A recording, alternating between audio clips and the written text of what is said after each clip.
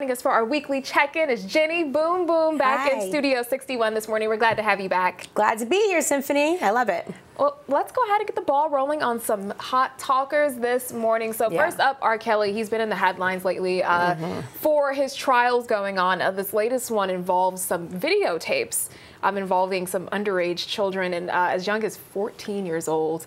Right. Yeah. So his trial in Chicago has officially started after he was just, you know, convicted of federal sex crimes in New York. He's He's serving 30 years already, but now he's in Chicago on child pornography charges. Uh, four victims are going to come forward and testify against him, including the alleged victim from 2008, his trial in which he was acquitted. She is now going to take the stand and speak out.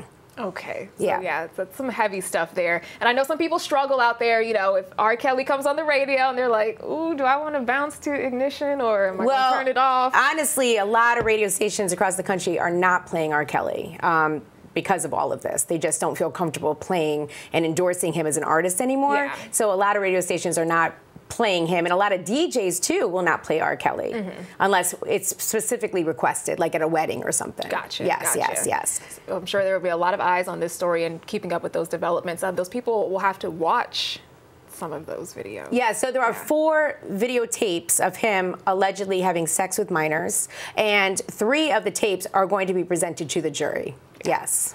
Oh, some heavy stuff there. Mm-hmm. All right, so let's go ahead and move on to uh, another story. Now, this one involving uh, the Spider-Man, the latest Spider-Man, Tom Holland. Yes. Now, he's saying that he's going to take a break from promoting uh, some of his projects due to his mental health.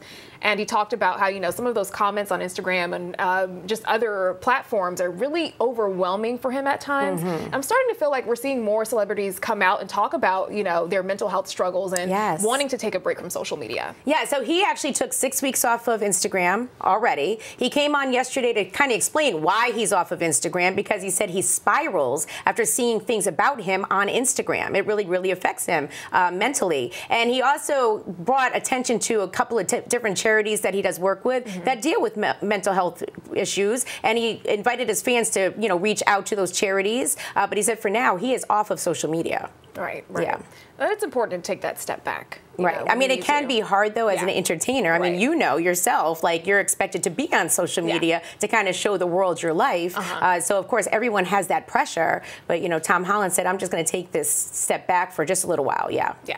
All right, well, Jenny, we got the wrap, so we got to head out. But thank you so much for joining us this morning. And as always, you guys will see her probably next week. And if not, you can catch her on the radio in the meantime. Yeah, and Hot 937. All right. Thank you for joining us. Thank you. Okay, let's check back in with our friend.